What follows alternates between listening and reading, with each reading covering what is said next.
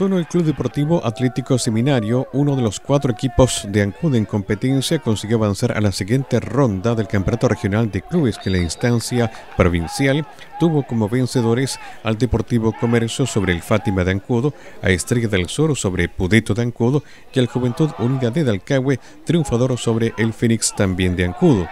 En cuanto al elenco campeón del fútbol ancuditano, este debió brigar más allá de lo proyectado, toda vez que fue derrotado por 3 a 1 en la instancia de los 90 minutos frente al también elenco de Castro Arcoiris. Así, en la ronda de penales, solo el elenco local consiguió marcar la diferencia al aventajar a su oponente por 4 a 2.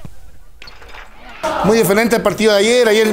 mantuvimos el balón, controlamos el balón, controlamos el partido Hoy día no fue así, nos vinieron encima, nos ganaron 3-1, tuvimos que ir a tanda penales y gracias a Dios pude agarrar uno, quería agarrar uno y uno se dio. Nos confiamos mucho con el 1-1 que teníamos en el primer tiempo, creo, bajamos demasiado y nos tuvimos la pelota y le dimos la pelota a Arco y ese fue uno de nuestras debilidades creo que en el segundo tiempo. Eso hizo que el equipo de Arco creciera más y llegó hasta la tanda de los penales, como vimos, pero contento, feliz por la clasificación, pero hay mucho que trabajar todavía. La clasificación de seminario dejó una voz de alerta para su cuerpo técnico, en tanto que desde el elenco visitante se destacó la entrega de sus jugadores, a pesar que estos no consiguieran el objetivo de avanzar a la siguiente ronda. Hicimos un partido muy malo allá en, de local, eh, tuvimos un par de errores eh, groseros que nos costaron el partido la, primera llave, 2 a 0 en contra, vinimos acá a jugar la opción,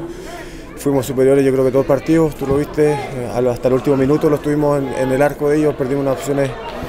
eh, perdimos un penal en, el juego, durante el, durante el juego, así que, y los penales tú sabes que un poco juegan varios factores, la experiencia del arquero de ellos también le jugó a favor, un arquero ya grande, atajó un penal durante el partido.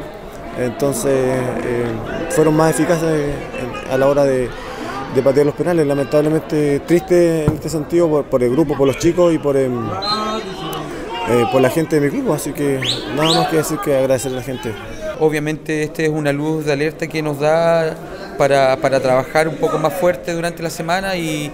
y, saber también que, entrenando dos o tres veces a la semana no nos va a alcanzar, así que trabajar más nomás y, mejorar cositas que, estamos eh, que, que, nos están pesando en los últimos minutos de, de los 90, así que tranquilo pero, pero a la vez preocupado también.